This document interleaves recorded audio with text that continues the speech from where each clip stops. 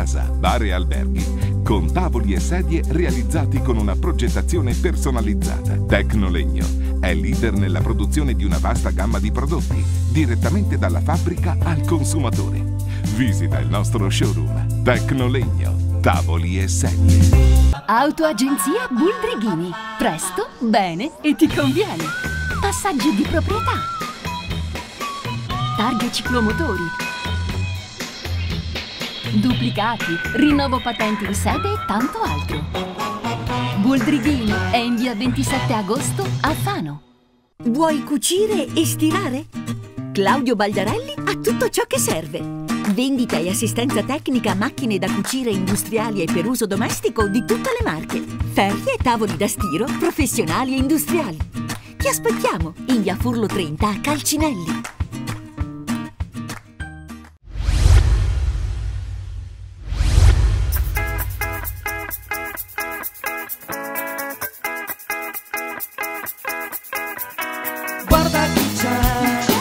Qui con me. Guarda chi c'è qui stasera con me. Guarda chi c'è, c'è qui con me. Guarda chi c'è qui stasera con me.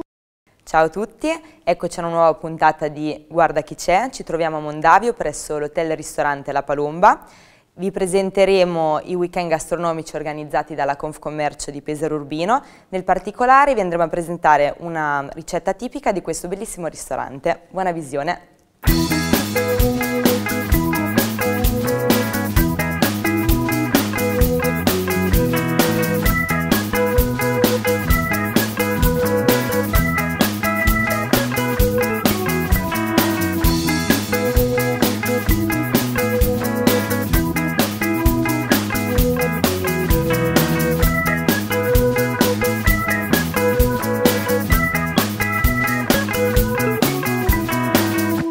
Al ristorante La Palomba di Mondavio e con noi c'è il direttore di Confcommercio, Amerigo Varotti.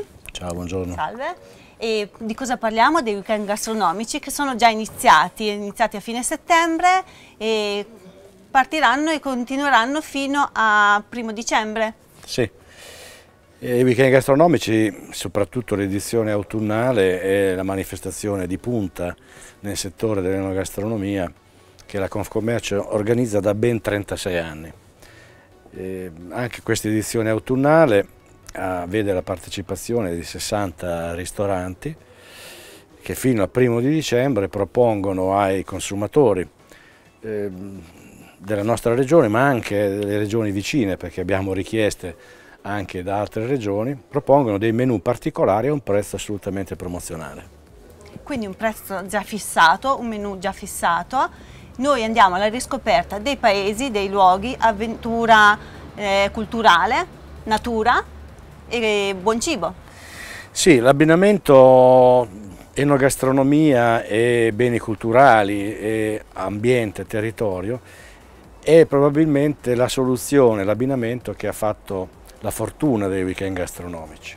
In fondo sono iniziative che riguardano l'entroterra della provincia di Pesaro Urbino, quindi in questa edizione autunnale, così come in quella primaverile, escludiamo le località della costa, eh, proponiamo dei percorsi, degli itinerari nell'entroterra della provincia di Pesaro Urbino che molte volte vuol dire anche riscoprire o scoprire per la prima volta borghi, eh, cittadine che sono normalmente ai margini dei percorsi turistici. La possibilità quindi che offriamo al turista, al consumatore, è quella di vivere un'esperienza a contatto con il territorio più vero della nostra provincia, gustando le prelibatezze del nostro territorio. I nostri ristoratori da questo punto di vista hanno capito la richiesta che faceva Confcommercio, eh, cioè noi proponiamo un menù promozionale a un prezzo che prefissiamo noi, indichiamo anche i vini che devono essere vini della provincia di Pesaro Urbino, però chiediamo al ristoratore di proporre dei menù particolari, non il solito primo, secondo, frutta, frutta Qualcosa tipico della zona Qualcosa magari, tipico, qualcosa di tipico, come ad esempio ha fatto il 13 ottobre scorso il ristorante La Palomba qui, sì. qui di Mondavio, quindi eh, riagganciandoci un po' alla nostra tradizione gastronomica. Però ecco, la fortuna, e lo ripeto perché credo che sia la cosa più importante di, questo, di questa manifestazione, è l'abbinamento tra la gastronomia e il territorio.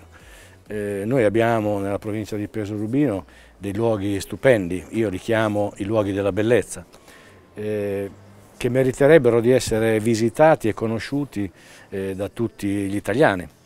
Eh, noi abbiamo la presunzione con i weekend gastronomici di fare conoscere mh, buona parte del territorio. Peraltro all'interno abbiamo anche inserito l'altro nostro progetto che sono l'itinerario della bellezza che comprende alcuni tra i comuni veramente più belli della nostra provincia. Sì, perché poi comunque la provincia è ricca di borghi molto interessanti e alcuni sottovalutati, mentre sarebbero da visitare veramente. Questo è un input in più per vedere questi posti. Sì, mm, come dicono quelli bravi, i tecnici, l'enogastronomia è uno dei plus del mercato turistico italiano, un valore aggiunto. Eh, noi abbiamo una provincia ricca di borghi, ricca di storia, di cultura, eh, ma abbiamo anche tanti ristoranti che eh, hanno avuto un'evoluzione eh, incredibile in, negli ultimi decenni e propongono veramente dei, i piatti della tradizione legati anche alle produzioni agricole locali.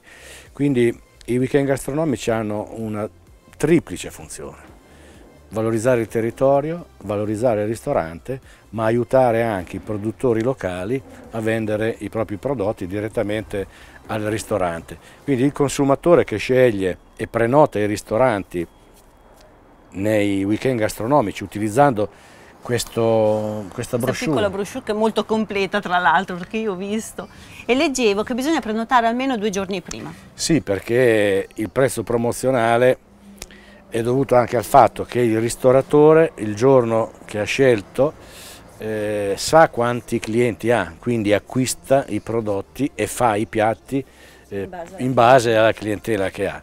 E anche questo è un modo serio di rapportarsi eh, con il consumatore, al quale noi diciamo fin dall'inizio cosa mangia, quanto spende, cosa beve e quanto spende per bere, oltre che a dargli indicazioni sulle cose che può vedere nella località. Amerigo, tu ci parlavi dell'itinerario della bellezza, in cosa consiste? L'itinerario della bellezza è un progetto che Confcommercio ha realizzato, siamo già al secondo anno, in collaborazione con alcuni comuni della provincia di Pesaro Rubino, eh, comuni che hanno deciso di valorizzare il proprio patrimonio culturale, artistico, ambientale, enogastronomico, utilizzando la Confcommercio, che è l'unica associazione nella nostra provincia, ma forse anche a livello nazionale, che si occupa da, da sempre di promozione turistica, di valorizzazione del nostro patrimonio. Al momento, 2019, sono otto i comuni che partecipano a questo nostro itinerario, ai quali garantiamo una visibilità nazionale e internazionale attraverso la pubblicazione vabbè, di una brochure, la partecipazione a fiere in Italia e all'estero, un'attività di comunicazione costante sui social, sul web, blog, e un progetto che sta piacendo molto, stiamo già lavorando per l'edizione 2020. Quindi sempre più aderenti no, al progetto stesso, vedono che, fa, sì, che funziona e che, che funziona. E saranno altri comuni che parteciperanno all'edizione 2020. Parliamo sempre della provincia di Pesaro Urbino. Sempre la provincia di Pesaro Urbino, anche se abbiamo richieste anche dalla provincia di Ascoli Piceno e dall'Umbria, che hanno visto questo nostro progetto e ci hanno coinvolto per vedere di realizzare un progetto analogo nelle loro terre. Il progetto è registrato e poi il problema è che non c'è nessuna altra organizzazione che ha la struttura che abbiamo noi in grado di fare attività promozionali in Italia e all'estero. Noi abbiamo un tour operator di nostra proprietà da 22 anni e quindi da 22 anni giriamo il mondo per promuovere la provincia di Pesaro Urbino. Abbiamo una struttura interna con personale che è addetto alla comunicazione, stiamo investendo molto nella promozione del territorio e non c'è veramente nessun altro che fa quello che facciamo noi. Per questo nell'edizione 2020 avremo, oltre ai comuni, agli otto comuni attuali, altri comuni che stanno entrando in questo progetto.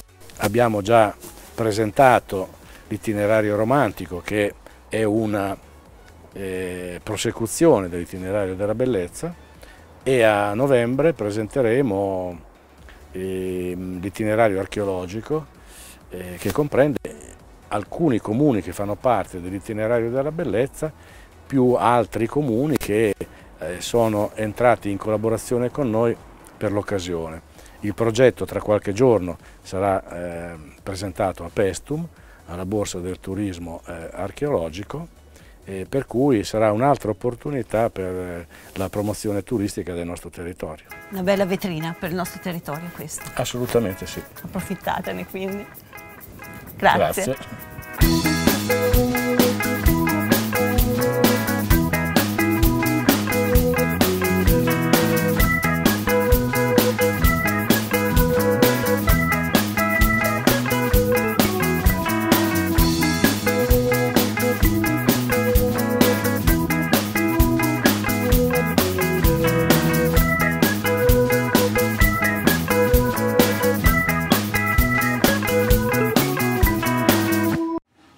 Qui a Mondave, al ristorante La Palomba, con noi c'è Adele Cerisoli, la famiglia che gestisce da oltre 30 anni questo ristorante albergo. Voi avete partecipato ai weekend gastronomici e cosa avete proposto? Buongiorno a tutti innanzitutto. E abbiamo proposto un menù a base di tartufo e diciamo anche di prodotti tipici o perlomeno quelli che rispettano un po' la tradizione delle marche. E abbiamo proposto un, come antipasto uno sformattino di patate tartufo, poi un, del risotto sempre mantecato con zucca gialla e tartufo nero e poi delle tagliatelle con misto di, di, di sottobosco. Eh, qua oggi vi faccio vedere poi quella che è la seconda portata, la pasticciata alla pesarese con la gallina in umido e proprio, fanno parte proprio del nostro patrimonio Prodotti culturale e gastronomico. Tradizionali, diciamo, no? sì. piatti tradizionali. Abbiamo visto una buona partecipazione a quell'evento e quindi si riproporrà anche il prossimo anno, no? Sì, ormai per noi è un appuntamento fisso da quasi 25 anni, quindi quasi dagli inizi della nostra attività. Siamo stati, possiamo dirlo, anche tra i primi a aver partecipato e sempre con buoni risultati, specialmente nell'edizione del, dell'autunno. Anche in primavera stanno prendendo piede i weekend gastronomici. In effetti l'edizione autunnale dei weekend gastronomici è quella più fortunata, quella mm, che garantisce una maggiore presenza dei consumatori nei ristoranti e d'altra parte essendo un'iniziativa che riguarda l'entroterra è notorio che i, i sapori eh, dell'entroterra sono sapori più forti più corposi, più corposi che ben si addicono al periodo autunnale, quando la gente è finita la, la, la, la sbornia estiva del mare, incomincia a riprendere il percorso, a ritornare a vedere l'entroterra, a visitare questi nostri borghi e a trovare un ristorante come La Palomba che è un ristorante tradizionale, che fa cucina tradizionale ma con una grande capacità innovativa ed è uno dei ristoranti più fedeli a questo progetto che la Confcommercio porta avanti da 36 anni. E oggi io volevo farvi vedere come prepariamo i tacconi, che sono questo piatto tradizionale di Mondavio e ci, questo piatto ci rappresenta anche un po' e è anche molto conosciuto. Eh, viene preparato con della farina di fave e della farina di grano duro normale. La farina di fave naturalmente usiamo quella dei lubachi di Fratte Rosa perché ha il presidio Slow Food, la favetta è stata riconosciuta con il presidio Slow Food. Ehm, vi do gli ingredienti per quello che può essere necessario per farne una, una sfoglia, quindi per tre o quattro persone. Ehm, la ricetta che andiamo a proporvi sono i tacconi allo sgaggio, e sono quelli un po' più forti, un po' più genuini. Proprio sgaggio, sì, no? sgaggio viene dal fatto che mh, mm, viene soffritto il lardo con eh, l'aglio mm -hmm. e quindi il, lo sgaggiare, quindi l'uno che fa eh, il soffritto che si crea da questo rumore da sgaggiare dal dialetto. Simpatico. E, mh, mm, con l'aggiunta di un guanciale croccante. Quindi è una ricetta abbastanza, diciamo, corposa come, come sapore magari può piacere o no, o lo si amano Ma o sì, lo si piace, odiano, piace, insomma. garantisco. Allora, abbiamo messo ehm, 200 g di farina quindi di fave, 200 g di farina di grano duro, poi abbiamo aggiungere un pizzico di sale, un uovo. Amerigo, vuoi dare una giratina? Prego. Là, l'unica cosa che so fare io, insomma. Cioè si fa sempre così. Sempre così. Poi abbiamo, andiamo ad aggiungere un bicchiere Bravo. di acqua calda, ben calda. Quindi è un impasto, diciamo, povero perché eh, rappresentando un po' quella che è la nostra antichità, gli ingredienti erano quelli che il- della, della casa, insomma, della casa contadina, ecco. Oh. Comincia a prendere corpo, veramente. ci mettiamo una- ancora un Ci po' mettiamo d'acqua. un po' d'acqua perché non è che gira molto, eh. Ecco. Deve essere comunque un impasto bello mm, duro, eh? Quindi andiamo a impastare. L'impasto dentro la ciotola è voluto perché di solito si sulla Allora, qui sono solo, eh, diciamo, gli ingredienti per una sfoglia, quindi magari nella, nella panara viene- si disperdono anche un po' gli ingredienti. Però, no, di solito noi la facciamo sulla panara, Sulla insomma, panara. anche perché le quantità eh, sono diverse. Poi andiamo a spostare qua. Facciamo qua. Questo so fare. e la andiamo a lavorare per un po'.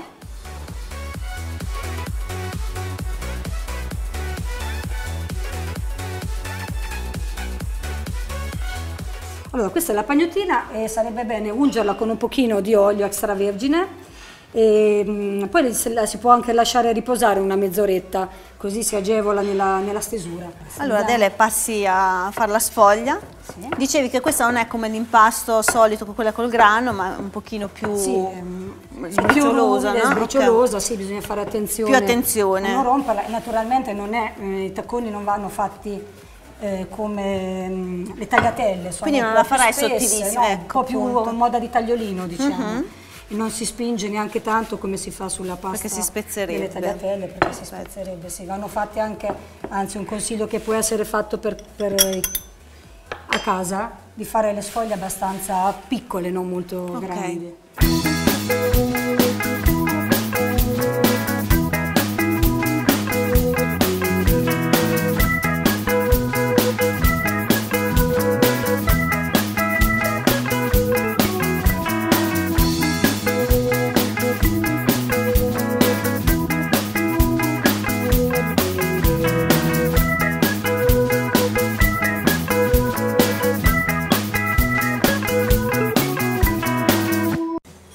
Saliamo l'acqua.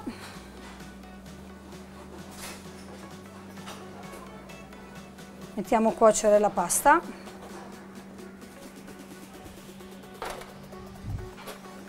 Giriamo e lasciamo cuocere per qualche minuto. Allora, qui quindi abbiamo il lardo soffritto con aglio e abbiamo aggiunto della- del guanciale. Andiamo a tirare sulla pasta ormai a, co- a cottura ultimata. Scoliamo.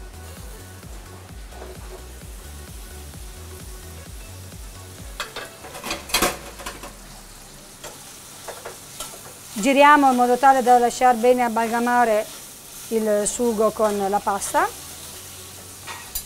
E il piatto è pronto. Mettiamo una bella grattata di parmigiano ma anche di pecorino se li vogliamo ancora più saporiti. E voilà!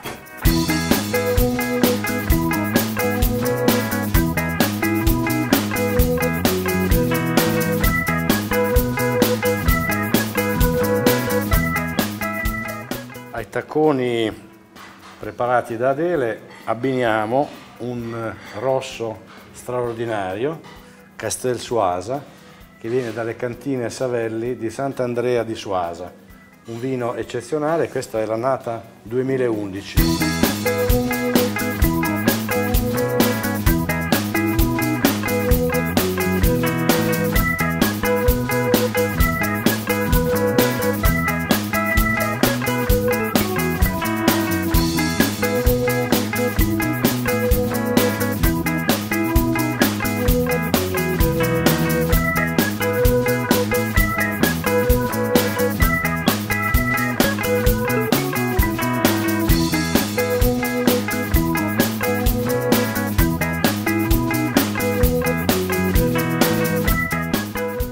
Grazie per averci seguito, ringraziamo i nostri sponsor Fano Center, Tecnolegno Tavoli e Sedie, Remax Orizzonti e Cenerelli Parquet. Inoltre ringrazio Leti Fashion di Fano per il mio abbigliamento e quello di Sonia.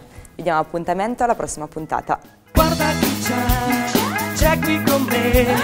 Guarda chi c'è qui stasera con me. Guarda chi c'è, c'è qui con me. Guarda chi c'è qui stasera con me. Con me.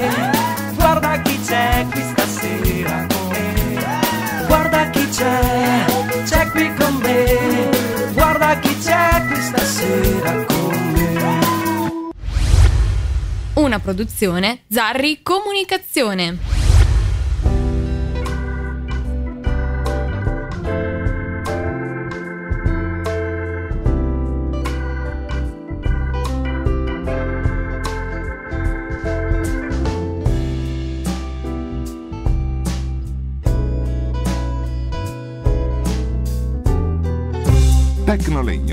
Tecnolegno arreda la casa, bar e alberghi, con tavoli e sedie realizzati con una progettazione personalizzata. Tecnolegno è leader nella produzione di una vasta gamma di prodotti, direttamente dalla fabbrica al consumatore. Visita il nostro showroom. Tecnolegno, tavoli e sedie. Autoagenzia Buldrighini. Presto, bene e ti conviene. Passaggi di proprietà. Targhe ciclomotori. Duplicati, rinnovo patenti in sede e tanto altro. Buldrighini è in via 27 agosto a Fano. Vuoi cucire e stirare? Claudio Baldarelli ha tutto ciò che serve. Vendita e assistenza tecnica a macchine da cucire industriali e per uso domestico di tutte le marche. Ferri e tavoli da stiro professionali e industriali. Ti aspettiamo in via Furlo 30 a Calcinelli.